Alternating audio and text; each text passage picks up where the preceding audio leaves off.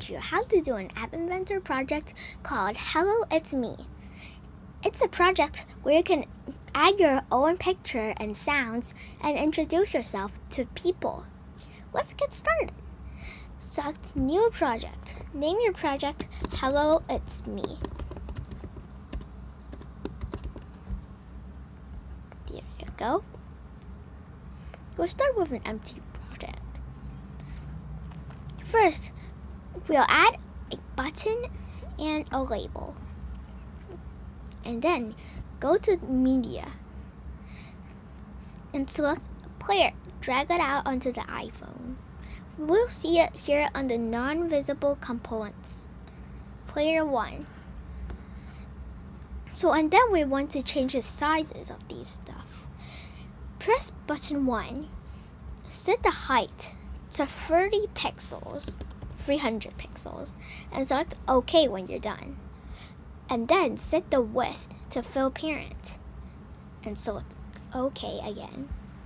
There you go. It's a perfect button. Then you can select your image.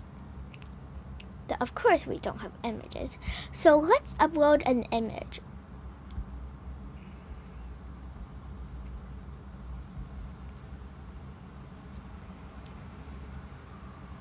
Also upload a sound. It could be any sound, mostly the sound of yourself.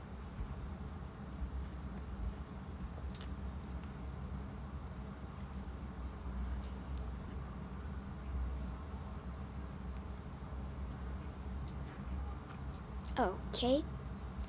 And then click image. You'll see both of your the sound and your picture. So click on your picture and click OK. There you go. Then you'll see your own picture. Of course, you see the text. Text for a button 1. It's a bit annoying, right? So go to the properties, text, and delete all the text. We don't need it. And then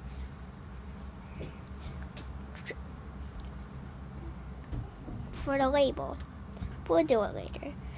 Go to the blocks select button 1 when button 1 clicked. What, what do we want when the button 1 is clicked? We want the sound to play. So go to player 1 and find the block call player 1 start. Drag it out and snap it below the when button 1 click. Lastly, what sound do we want it to play?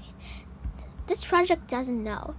Go back to player 1 in the designer in the properties, go to source and select your sound. When you're done, click OK. You're finally done. Lastly, click on your label. You go to the label's text. You can do whatever text you want. I'll give you a sec.